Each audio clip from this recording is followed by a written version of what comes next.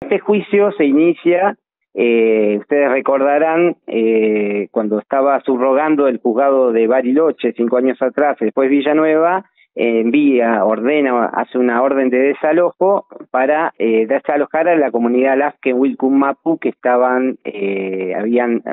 realizado un recupero eh, territorial en un terreno que es titularidad de parques nacionales. En ese contexto, bueno, fue el, grupo Albatros que llevó adelante eh, esa diligencia eh, con los resultados que ya son conocidos por todos, es decir, eh, un desalojo que no se terminó de concretar, pero que arrojó el saldo de la muerte de Rafael Nahuel. Eh, lo que se va a juzgar el lunes eh, va a ser el, ese juicio de usurpación, es decir, todos los imputados en esta causa están acusados por el delito de usurpación que está prescrito en el artículo 181, inciso 1 del Código Penal, es decir, se trata de una, un delito que es escarcelable, que tiene una pena que no es mayor eh, a tres años de prisión eh, y bueno, y se va a hacer un, digamos, un, un juicio conjunto. Este juicio eh, iba a arrancar eh, ayer, ayer era la audiencia de juicio, eh, yo pedí que se postergara o que se suspendiera porque eh, la Fiscalía pretendía llevar adelante este juicio eh, con una defensa oficial porque no estaban los miembros de la gremial de abogados. Estoy hablando del doctor Eduardo Suárez y la doctora Tafetani, porque ellos se encuentran en este momento en Paraguay eh, asistiendo en un juicio para el cual fueron convocados y fue una carga pública. Nosotros informamos esta circunstancia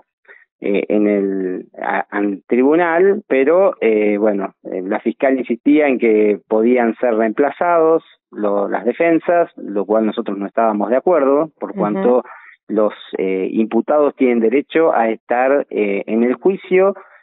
con su defensor de confianza, que son los abogados que han intervenido en todas las causas. Eh, yo hubiera preferido que postergaran el juicio hasta febrero eh, para preparar eh, mejor la situación, pero bueno, el juez ha decidido eh, que el juicio arranca este el lunes que viene, es, eh, serían toda la semana hasta el jueves, eh, desde las nueve hasta las cinco de la tarde van a ser las jornadas de juicio y bueno, y en este juicio la fiscal va a tratar de demostrar eh, que eh, la comunidad mapuche, Wilcun, la, el Asken Wilcun Mapu, eh, son usurpadores o cometieron el delito de usurpación. Y bueno, y nosotros obviamente desde la defensa vamos a demostrar lo contrario, que en realidad acá no eh, se está, esta es una causa política donde se está juzgando a los miembros de una comunidad mapuche básicamente por ejercer sus derechos. Y que esta causa principal ha devenido en sucesivas causas por las cuales una de ellas en las que se encuentran detenidas miembros de también de la misma comunidad que van a ser juzgados en esta causa porque consideramos que el objetivo es eh, un objetivo no jurídico que venga del, derecho penal, sino eh, político aleccionador, es decir, eh, es enviar un mensaje desde el poder desde el Ministerio Público Fiscal y desde los propios intereses que representa eh, un sector de la justicia hacia el resto de las comunidades, eh, como señalando, bueno, miren eh, lo que va a suceder si ustedes continúan en esta tesitura de recuperar eh, territorios, ¿no? Esta es la, la lectura, ¿no? Que nosotros vamos a tratar de ponerla en la mesa eh, eh, en el debate. Eh, Luis, ¿y ustedes creen que este apuro eh, de la justicia ahora, porque no se entiende por qué tiene que salir ya rápidamente el juicio, teniendo en cuenta que pasó mucho tiempo, ¿no? Eh, que está eh, netamente vinculado con lo que estuvo pasando en este último tiempo en, en Villa Mascardi y que quieren apurar la causa, ¿lo, ¿lo sienten así? Totalmente. Ellos quieren legitimar lo ilegitimable. Ellos quieren legitimar que tienen presas a miembros de una comunidad por un delito que es escarcelable. Es decir, uh -huh. eh, nosotros tenemos a miembros de la misma comunidad que se está juzgando que fueron eh, detenidas, que fueron trasladadas como cautivas a, a Buenos Aires, eh, al tribunal, a, a, al penal de Seiza,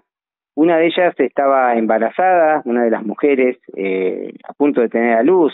Irónicamente, la fiscal en la audiencia eh, pidió que se analizara su pedido de, que se, se, realizara rápidamente el juicio con perspectiva de género, porque ella alegó que estaba embarazada y que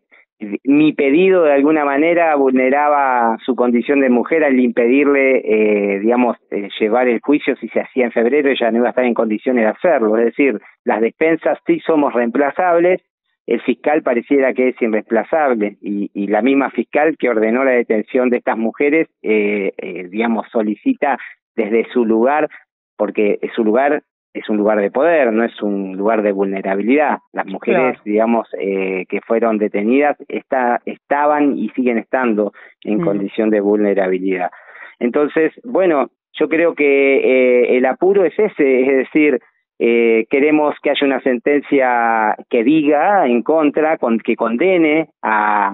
a, a los miembros de la comunidad por usurpadores, de alguna manera como para justificar, te digo, lo injustificable, porque la verdad las chicas están, eh, las miembros, los miembros de la comunidad que están detenidas no tienen antecedentes, eh, con lo cual, digamos, están privadas de la libertad. Eh, debe, debe haber un solo caso en, en toda la República Argentina de personas detenidas por el delito de usurpación. El delito de usurpación, les repito, es un delito escarcelable. Tiene penas que no van de mayores de, de, de, y, y en la mayoría de los casos no llega a juicio se arreglan por suspensión de juicio a prueba, juicios abreviados eh, y terminan en dirimendos por causas civiles, ¿no? Así que eh, obviamente que nosotros sabemos cuál es el contenido eh, político de esta causa, que no tiene absolutamente nada que ver con, digamos, los institutos del Código Penal que se buscan, digamos, demostrar en esta causa.